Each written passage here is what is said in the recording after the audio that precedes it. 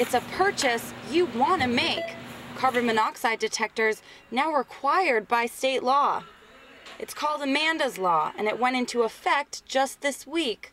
Not only uh, just single homes, uh, multifamily homes, dorms, uh, hotels. It's named after Amanda Hansen, a 16 year old girl from upstate New York who was killed by a carbon monoxide leak while at a sleepover.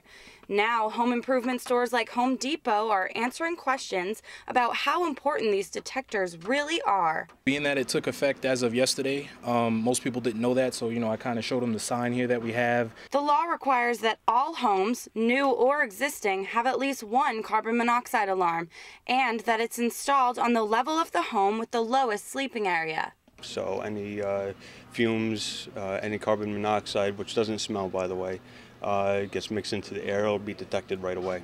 And while many people are just becoming aware that there is now a law, no one seems to think it's a bad thing. I think it's great. I think it's, it's good for uh, people to be aware that carbon monoxide detectors are uh, useful. Do you already have them installed in your home? Yes, I do. Oh, it's safer. I do have them on both floors. There are many things to be aware of when dealing with the detectors, like how often to change them. They recommend that you replace them every five years. Some people don't, you know, they couldn't really remember the last time they replaced it. So, you know, just especially if you have kids in your home, Now, there's different levels when it comes to price and performance with the carbon monoxide detectors.